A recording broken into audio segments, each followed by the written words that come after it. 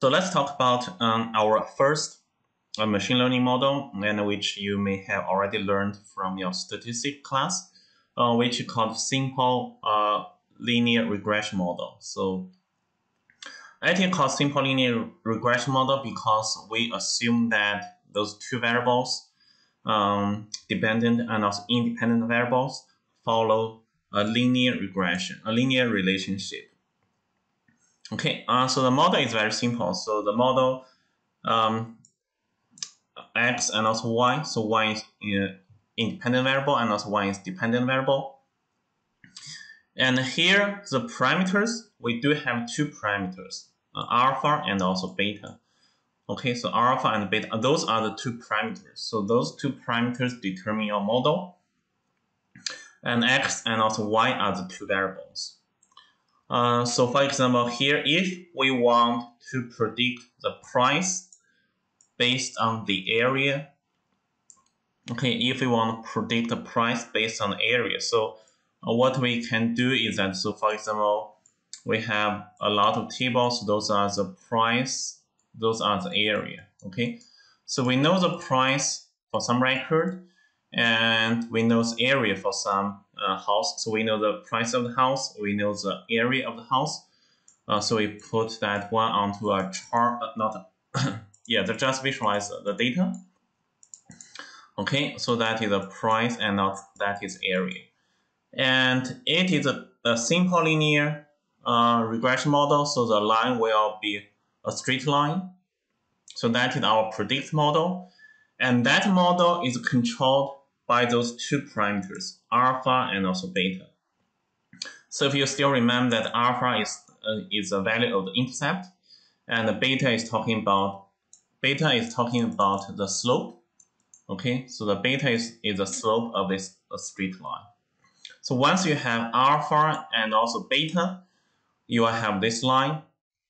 And next, if I say I have a I have a house that we know the area and we want to predict the price. So for example, her house price area is like this. You just bring that one to the model and you can check, okay, so the corresponding price. Okay, so that idea that behind a simple linear regression models. And we do have errors. So because this is supervised learning model, because we know the price for some records, and we bring those records to train the model. So we know the right answer and also we know the wrong answers. So for example, this single point is a point that we brought to the to training the model, and uh, that real price is this. However, if we use a model, predict price will be like this. Okay, so now we have those ones. So that is what we call the error. Okay, so that is what we call errors. Uh, so the, the error is a real price minus the predict price. So the errors can be positive, the errors can also be negative. Okay, so let's put that on the uh, on the nice chart. Um, so the idea, the objective of the model is that we're trying to find out the alpha and the beta. So now we have those area and also price. So those are the training data. We're trying to find out alpha and beta that can minimize the errors. Okay, so that can minimize the errors. So in this case, the uh, alpha is the intercept and also beta is the slope. So we're trying to find out a straight line that can pass through those points in another way, which can minimize the errors. Okay, so ideally that we are trying to find out this line because it's a linear relationship, linear regression model. So we're trying to find a straight line and to minimize those errors. And this straight line is controlled by two parameters. The first one is this one intercept or alpha. The second one is the slope, which is a beta. Okay, so that is a simple linear regression models. So x and y, um, those will be the point, will be a sample point that we brought to training the model. And also alpha and beta will be the parameters of the model. And we want to find out the best parameter, so the best and alpha and beta that can minimize the error. okay, um, so how can we find out the alpha and beta to minimize the errors? Uh, so if you recall from your statistics, I, I believe that the method that the professor introduced is called the ordinary least squares. Or in another way, it's called OLS. So OLS is one approach that can find out the best parameter, the best alpha and beta, which can which will produce the, the minimal errors. Okay, so OLS is a one approach. So one of those approach that can find out alpha and beta that can minimize errors. And to be more specific, it can minimize the sum of the squared errors. The sum of the squared error. Because sometimes the error can be positive and sometimes the error can be negative. So if you can minimize the sum of the squared errors, then that will be a very great model.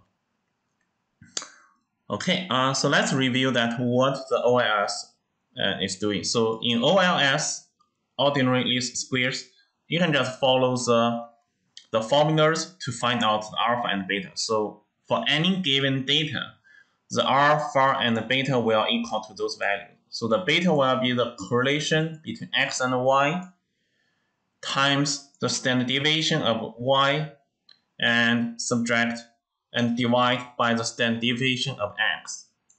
Okay, so correlation standard deviation. So for any given x and y, for any given variables, you just calculate correlation, standard deviation of x and standard deviation of y, and you will have the beta.